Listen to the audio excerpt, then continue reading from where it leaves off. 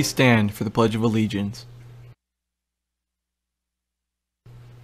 I pledge allegiance to the flag of the United States of America and to the republic for which it stands, one nation, under God, indivisible, with liberty and justice for all.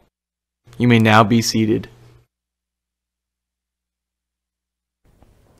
Good morning, Wildcats, and happy Tuesday. This past weekend, we hit one full year since school was closed and quarantine started. Later on in today's show, we will get to hear more. I'm your host, Emily Kaufman. Today's Tuesday, March 16th, and you're watching West Ranch TV.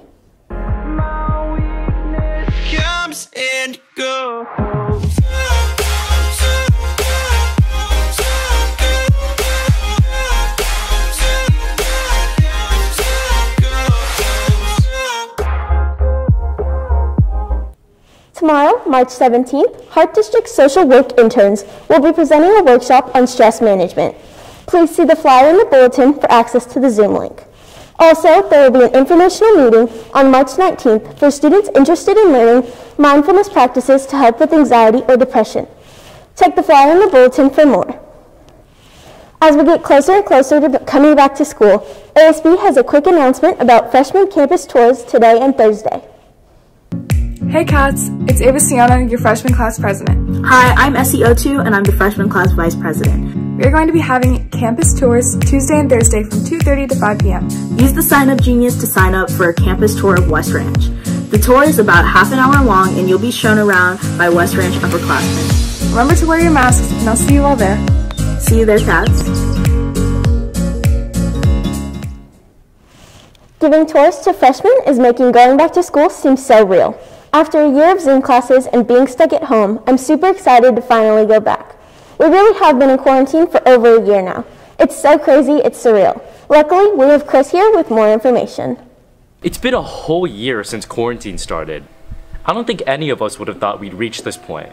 Last year, I was in the bus with West Ranch TV, spending our last happy moments before lockdown started. Fast forward a year later, and we're still stuck at home. Not only did my environment change, but my mindset did too.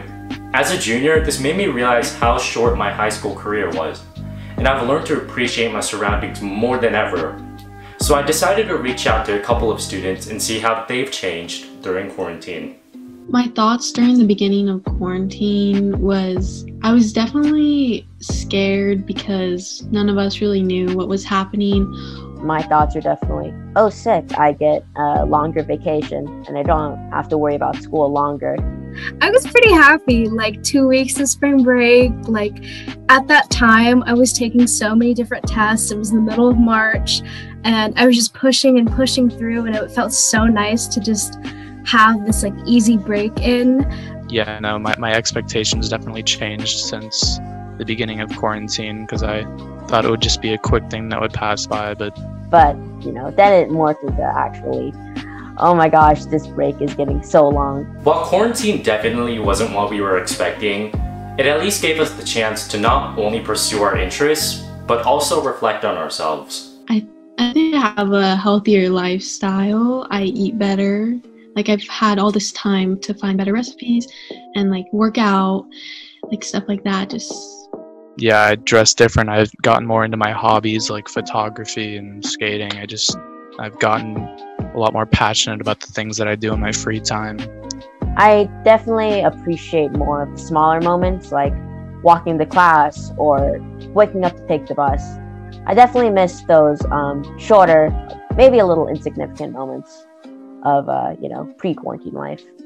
I've really taken the time to just sit with myself, sit in solitude, um, and really try to grow and learn. I feel like quarantine has given me a lot of time to kind of reflect on myself and change and be a little better than I was before.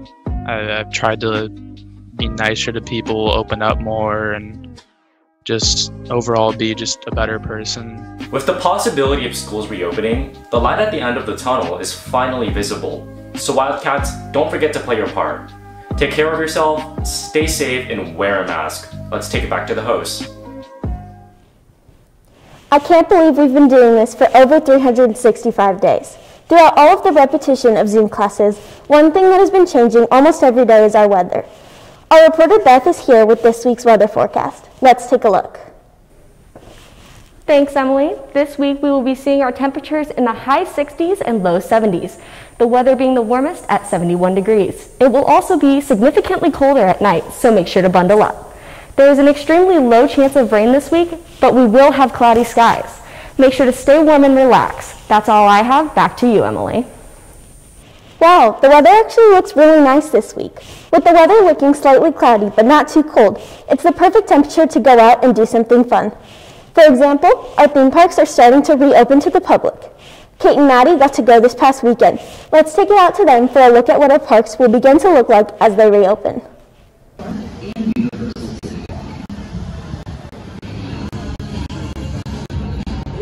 We're here at opening day of Taste of Universal at Universal Studios Hollywood. This is just one of the many ways Universal has found a way to stay open and how they are preparing for a full reopening in the upcoming months.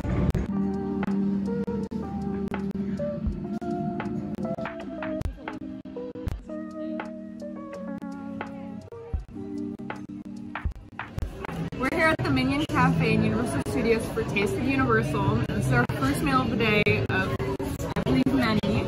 I got a little hungry while Kate was waiting, and I got a Beyond Burger because I'm vegetarian. So they do have vegetarian options here, which is good. Very few. They actually only have three burgers left for some chicken tenders and a side of tater tots.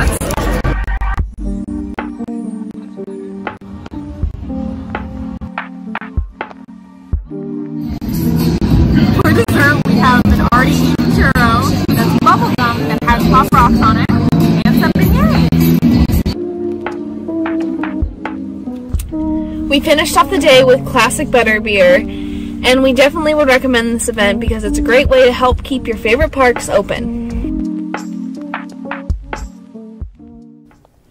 I'm so jealous you guys got to go back to Universal. I can't wait to go back myself.